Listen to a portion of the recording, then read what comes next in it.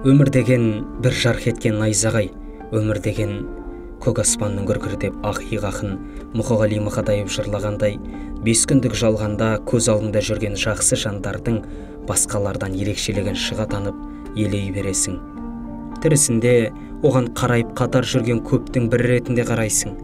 Ол көзден ғайып болғанда ғана орны үңірейіп бос тұрады. Ал оның кеудеңде қаңырап қалған оқпандай орнын толтыру екенін бірінің қолынан келе бермейтіні тағы бар. Өйткені жүрегіңе игі істермен асыл қасиеттермен ізін таңбалап көңіліне кір келтірместей болып кестеленген сол шамның мінсіз мінезі оралымды ой өрісі таңғажайып талғамы терең түсінігі басқа біреуде туп тура солай бола бермейді. Сынаптай сырғып уақыт керуен алға жылжыған сайын өмірдің базарынан қайта сөнбес сәуледей қадірлі жандарды еске түсіріп сағынбай тұра алмайсың. Ол өмірдің заңы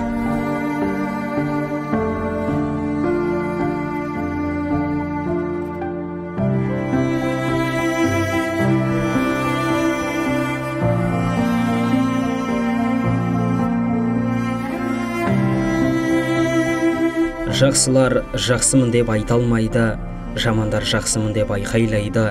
Жүрген соң баурайында күнде көріп таулардың биіктігі байқалмайды деп жүрек құлын қозғайтын халық әні кеше ғана арамызда жүрген. Бүгінде нұрлы дидары сағынышқа айналған аласармас асқар таудай асыл жандарды еріксіз еске түсіреді. Сондай болмысы бөлек табиғатынан текті ұмытылмас жанның бірі асылбек болысбайұлы. Ол 1959 жылы бірінші сәуірде ұлтарақовтар әулетінде дүниеге келді. Әкесі болысбай мен анасы ұмсылкүл мүгедектер үйінде көп жылдар бойы табан аудармай табандылықпен абыроймен қызмет атқарған. Адал еңбек етудің аманаттығын асқар тәуеке мен аяулы анасы төрт ұл төрт қыз тәрбиелеген. Солардың бірі асыл жан асылбек еді. Ол айша бибі мектеп интернатында білім алып қаратынды. 1979 жылы Монғолияда әскери борышын өтеуге аттанып 1982 жылы отанына туған жерге оралды. Автобазда үлкен краз жүк көлігін айдап еңбек етті. 1983 жылы отбасын құрып өңір өнеркәсібінің локомотивті жаңа жамбыл фосфор зауытының профилакториясында қызмет жасады. 1984 жылы тұңғышы дүниеге келіп жұбайымен бірге төрт ұл тәрбиеледі. Одан кейін отбасымен ата кәсіп мал шаруашылығын дөңгелетіп әкетті. Отбасының көшбасы арқа тірек қамқор аға мейірман әке адал шар қолғанат ұлы бола білді. Осы асылбек жолдасымызға басына дұға құран оқып бағыштадық ә, жастайымыздан бірге өстік бірге жүрдік мектепте бірге оқыдық. Одан үй жай болды үйленді бала шағасын әйтеуір өсірді. Одан намазға мешітке келіп намаз оқып жүрді бұл әсілбек бауырымыз. Енді алла тағалам бұл асылбек бауырымызға бәрі алланың жақсылығы болсын алланың рахымы пайғамбардың шапағаты болсын дейміз артында қалған бала шағаларына жұбайына оларға да алла тағалам сабырлығын берсін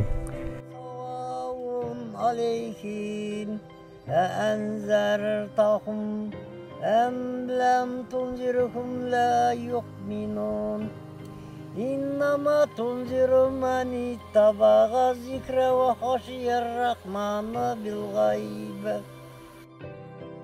асекеңнің айтқан ақылдары да көп еді мына балаларының мына жұмсаған балаларына көрсеткен тәжірибелерінің бәрі осы өте жақсы әбден меңгерген екеуміз тете болып өстік арамызда бір жыл сол. Сол тете болғаннан кейін қазақта екеуміз тайғұлындай тебісіп төбелесіп қала береміз. Сондай болып өстік енді. Бірақ енді ол мен сенің ағамын ғой сен менің тілімді алуың керек деп сөйтіп өзінің несіне настаивать етіп маған сөйтіп не қылатын содан кейін мына біздің қазір мына бейіттің қасында тұрмыз жерде біздің бәдәулеттердің жаңағы бейіті соған осыны зыр жүгіріп қанша не болса да қиыншылық болса да бәріне жүгіріп жүріп осыны қоршап ауылдағы жігіттердің бәріне жаңа қаңлы жігіттердің бәріне осыны айтып жігіттер осындай біздің мынау бейіт осы жерде байдәулеттер жерленген деп осы жерді неғылайық деп ат салысып осы жерге ас беріп сондай жасаған. Енді қалған артында бар оңалар дейді ғой. Төрт ұлы тұр міне. Мен бармын інісі. Бәріміз әйтеуір неғылып осыны тұрғызып жатырмыз 2004 жылы ата анасын екі мәрте қажылық сапарға жіберді. Үлкен шаңырақта інісі мен келіні ата анасымен ұзақ жылдар бойы бірге тұрды. Осылайша асыл жар екеуі ұлдарын тәрбиелеп тура жолға салды. Барлық балаларын баспаналы етіп кетті. Еңбексүйгіштікке әрі іске зор жауапкершілікпен қарайтыны қайырымдылығы кісілігі мен кішілігі өзінен кейінгі ұрпаққа үлгі өшпес өнеге. Оның жаратылысында адамгершіліктің асыл қасиеттері мол еді. Үлкенге ізгі кішіге кіршіксіз құрметті самалас саздай ерекше сезіліп тұратын. Бұл бауырым енді сондай алтын ақ жарқын сондай ақ жүректі былай көп айтқанның бірі енді қатарының сұлтаны жігіттің төресі еді ғой. Алланың ісіне амал жоқ енді. Бұл әсілбектің ата бабаларының әкесін ағамыз болысбай анасы жеңгеміз ұмсынкүл жәмилә апамды да көзіміз көрген. Ол кісілер де өте алтын кісілер еді. Қалыңның ішінде біз байдәулетіміз байдәулеттер бас қосып міне баяғы ата бабаларымыздың мына жұрты бар мына бүйір қызылтаң деген жер қазір енді. Баяғыда индом қазір әулиекөл болып кетті ғой аты өзгеріп енді. Әйтсе бұрыннан келе жатқан аты қызылтаң. Біздің ата бабаларымыздың қонысы. Мына әсілбек бауырының ар, артында қалған ұл қыздарына көрмеген қызығын жасамаған жасын берсін аллам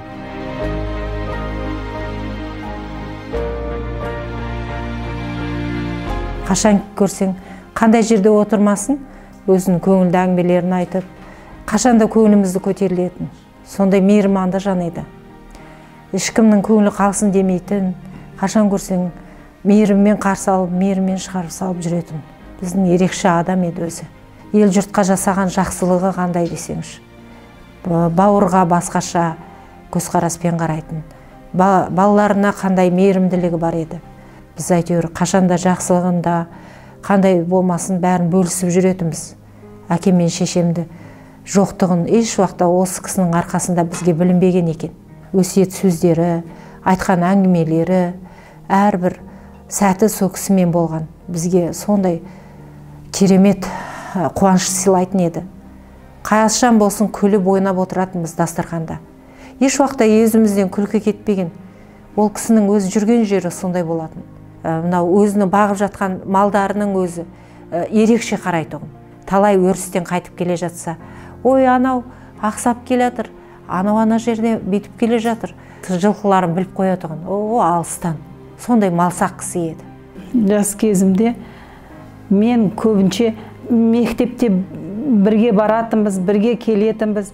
Ә, жаяу жүгіріп барып жүгіріп қайтатынбыз. Онда менің інім не велосипедке сумкаларды алып ол алдында жүретін ә біз жаяу артынан жүгіретінбіз. Ойлым ойымызды да ә, жаңағы сырымызды да бәрін айтатын осы інім етін. Марқұм асылбек құдамыз айтушы еді ә, бізбен құда болған кезде ең үлкен баласы ә, асылбек құданың өзі асекең бүйтіп айтатын той болатын кезде жаңағы біз келісіп жаңағы ең алғашқы үйленетін кезде құдағи келді құда одан кейін біз келдік. Сол екі семья бірігіп ақылдасып солай шешім шығарамыз деген кезде бірдеңен келіп жаңағы үш күннен кейін мақұл енді деп келісіп құдалықтың жағдайын жасаймыз. Балаларымыз бірін бірін сүйіп қалыпты деп құдамыз алдымызға келіп танысқанымызда ол кісінің әлі күнге дейін көз алдымызда шырайлы ашық мінезді әр кезде де күліп тұратын үлкен қажы атасы мен қажы апасы бар еді. Біз ол кісілердің де көзін көріп батасын алып бір дастархан басында құдалықта қонақтарда барлығымыз бірге болып осы бала шағасының ең алғашқы қызықшылығымен бірге осылай жайнап жайқалып келе жатырмыз. Бірақ өмір деген осы ғой енді. Бірақ алланың ішіне ешқандай біздің айтар сөзіміз жоқ. Құда айтады ғой мені ең алғашқы космосқа ұшырған осы нұрлан құда мен роза құдағи деп солай таныстырып өтіп өтетін ағайындардың ішінде тойға қонаққа барсақ та мен өте ризамын. Өйткені ол кісінің сондай ілтипаты жүрегінен шыққан таза көңіл сөзі әлі күнге дейін есімізде. Бұл өмірдің өзінің қызықшылығы осындай екен. Жақсылық болсын ұрпағы өсіп өне берсін. Жас кезде келін болып түскен кезде ағайдың бір сөздері бар еді. Айтатын келін енді төркінді ұмыт енді. Төркінге сене берме. Ә, төркін деген мына мен деп. Өзім ұшқан ұямды ата анамды анамды әсіресе бауырларымды қалай мен ұмытам десем ағай айтатұғын болды енді жан. Төркін деген мына менмін мен сенің бауырымын сенен төркінге сенбе маған сен ә, мен маған сеніңдер деп өзін солай ұстайтұғын өмірде де өзі солай болды ғой енді. Ә, ағамыздай ағамыз бауырымыздай болып кетті. Жастық шақтың бәрін бірге өткіздік ағамен бірге. Ешқандай қиыншылыққа мойымаңдар ә, алға қарай күресу талпыну бір жаңа идеялар тастау. Сол кісіден көп нәрсе үйрендік негізінде.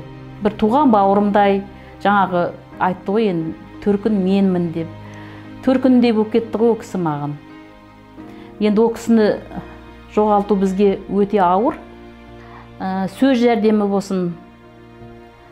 Солай көмек беріп тұратұғын оны ұмыту мүмкін емес. Біздің жадымызда мәңгі сақталып қалатын болды. Әке асқар тау дейді.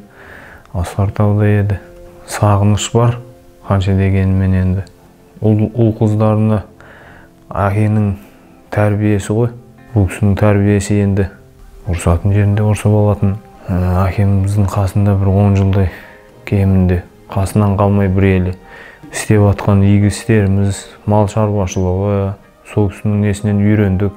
Құда қаласа мынау екі бауырым үй болып үйленсе екен деп сол, сол кісінің не сол балалардың несін армандап кетті енді. Айтып кеткен нелері бар еді көптеген. Солардың бәрі өзімнің құлағымда әйтеуір есімде жатсам да тұрсам да ойланып сол кісінің айтқан сөздері бар еді. Балам бүйтпе мынаны былай істе мынаны солай істе деп аманаттары бар еді. Құдайға шүкір әйтеуір шетінен шетінен жайлап мына бауырларыммен ақылдасып не, не болса да ортаға салып әйтеуір бұрын әкем марқұм өзі сөйтіп ортаға салатын семьяға мысалы шайда отырғанда кешкісін ей балам мынау былай болатын еді мынау былай болатын еді деп бәрімізге соны қалай қыламыз? деп сол сияқты енді үлкені болғаннан кейін осы жерде ашық кісі еді ғой. Ә, шындап айтқанда енді былай енді халық береді ғой несін. Э, халықтың аузында әйтеуір елдің аузында әйтеуір жақсы жағынан көрініп әйтеуір. Кім болса да қол ұшын көмегін беріп көптеген енді айта берсек көп енді жақсы істер жасаған амалдар жасағандары ұл қыздарымыз өсіп сол мынау немерелерін ең соңғы немерелеріне жаңағы аттарын өзі қойды. Арсый азаматымыздан ажырап отырмыз. Орны толмас өкініш амал жоқ. Асылбек екеуміз 42 жыл отасып төрт бала тәрбиеледік. Қайным асқар бәріміз 25 жыл бірге тұрдық. Екі үйдің баласын қанатының астына алып өсірді өндірді жеткізді. Балдарды мен сенің балаң деген жоқ. Ортақтасып тәрбиеледік бәрін. Балдарын еңбекке баулады шыңлады. Еш уақытта қиыншылықтан қорықпаңдар деп бауырмашыл еді әр уақыт бауырларын алдына келген кезде құшақ жая қарсы алып қарындастарын үйге келгенде сыйлап төрге отырыңдар қыз деген қонақ деп әр уақыт сыйлайтын үлкен үйдің тауқыметі қиын әке орнына әке шеше орнына шеше болуымыз керек деп әрдайым маған ақылын айтып отырады отырған жерінің гүлі әруақ ақ жарқын елдің көңілінен шыға білді. Өнегелі әке болды адал жар болды немерелеріне сүйікті ата болды. Әруақ немерелерін жақсы көріп көлге апарып шомылдырып балық аулатып соларға ерінбей қармақ сатып әкеп? Осыларды жақсы көретін оның әрбір сөздері әр уақытта біздің мәңгілік бейне бейнесі біздің жүрегімізде. Осы асылбекпен кішкентай кезімнен бірге өскенбіз бірге оқығанбыз бірге жүргенбіз. Асылбек өзі мықты жігіт етін екеуміз кішкентайымыздан тай теуісіп жүргенбіз. Ол интернатта жататын. Мен сол интернаттың қасында тұратынмын. Сонымен асылбек үйге келіп тұратын. Кейін интернатты қойды асылбек. Менің қасыма келіп ұйықтайтын. Біздің үйде біздің үй оған интернат болған. Мен одан бір жыл бұрын әскерге кеткем. Сонда мен әскерге кеткенде үйге келіп мені есіне алып ойлап мен жатқан төсекке төсек сап беріңізші деп төсек салдырып сөйтіп кетеді екен ғой. Досым мен сондай еді екеуміз. Басқа ондай досым жоқ мен осы жалғыз досым талай осы жерде далаға шықтық екеуміз аңға шықтық неге шықтық әбден тек жақсылығын көргенбіз ағамыздың жаманшылығын көрген жоқпыз қызықтары енді ол көңілді жігіт еді отырған жерде сөйлеп күлдіріп енді алла аспаннан ас түспесе кем емес етін бар жақсылығын көрдік аға ретінде шапқылап өтіп жүгіріп арамызда жүріп енді қайтып кетті. Тағы бір қызықтары оның. Жолдастарының арасында да беделді болды. Талай жерде күліп ең жігіттердің мықтысы болды ішінде. Мына саятшылықта да жақсы етін. Жолдастары көп жекжаттары көп. Ең жақсы осы жамбылдың тең жақсы танитын талай жақсылығын көрдім үйге іздеп барып тұрған күніге азанда барады. Не болып қалды не істеп жатсыңдар деп. Бір жыл болып дәні міне деп өтіп кетіп жатқан жер жаннатта болсын. Оның қаншалықты айта алмаймын айтып жеткізе алмаймын. Досқа да қадірлі туған туысқа да қадірлі еді. Жора жолдастың ортасында көңілді әрқашан. Әсілбекті біз ұмытпаймыз есімізде мәңгі жақсы жар бола білген. Асқар таудай әке болды. Артындағы балалар аман есен болып сол әкелерінің жасамаған жасын жасап өмірлі ғұмырлы болсын. Асілбек ешқашан біздің бала шағамыздың есінен де өзіміздің де есімізден кетпейтіндей болып демде әйтеуір жарқ етті де әйтеуір жоқ болып кеткен сияқты болып қалды. Енді қалған өмірін осы бала шағасына берсін. Кей кезде туған күндерімізге қай жаққа келсе де қолына гүлін ұстап бір кәдімгі күлетіміз интеллигентный ой сен те кереметсің ғой деп кейбіреулер келе кететін сен осы де гүлің де бітпейді екен деп қойып гүлін сыйлап әйтеуір біздің көңілімізді көтеріп не керек әйтеуір елдің бәрін көңілін таба білетін жігіттің бірі еді. Қимаймыз бірақ амал қанша? Артындағылар аман болсын. Мәңгі есімізде тек қана жақсы жағынан әйтеуір есімізде сақтап жүрерміз. Әсілбек екеуміз бала кезден бірге өскенбіз. Мектепте бірге жүрдік. Ә, кейін екеуміз өскеннен кейін осы аңшылықпен күшіктен бастадық. Сөйтіп аңға бірге шығатынбыз. Талай аңда жүрдік білем түлкіге шықтық. Балыққа да барғанбыз екеуміз. Барып мына көлден үйрек атушы едік. Оның пейнеті деген өте керемет. Өз үйіндегі осы малын бәрін өз кішкентай өз бір екі малдан бастап өсірген қараған жалғыз өзі. Білесің бе ата сағындым өзіңді таза бұлақтай мөлдіреген көзіңді. Жаным атам әрқашан биік шаттығын бұл фәниде жоқтығын сен кеткенде күңіреніп жатты елің. Ең болмаса құшақташы сарғайып сағынады-ау апа менің. Ең болмаса құшақташы түсімде. Жарқын бейнесі. Әрбір жылы сөздері кең даладай дархан адал көңілі көз көрген жандардың жүрегінде мәңгі сақталары сөзсіз. Ақын ғафу қайырбековтің ұл қадірлі жолдас еді. Жанның жалғыз бауыры олжас еді. бір ғана үйретпеген нәрсе оның қасірет қайғы уайым көз жас еді деп жырлағандай. өмірдің айдынынан ұшып кетсе де ұмытылмас асыл жанның жаны жәннатта нұры пейіште шалқысын артында қалған ұрпақтарына алла ұзақ мәнді мағыналы ғұмыр жазсын.